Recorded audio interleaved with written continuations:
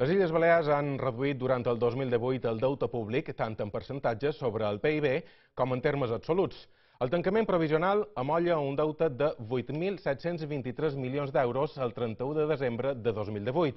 Són 79 milions manco que la mateixa data de 2017. El percentatge de deute sobre el PIB baixa fins al 28%, a diferència del 2015, que va tancar en el 30%. El govern afirma que la davallada encara hauria estat més pronunciada si no fos per la necessitat de concertar crèdits per despeses imprevistes, les inundacions del llevant de Mallorca i pel compliment de sentències de protecció urbanística.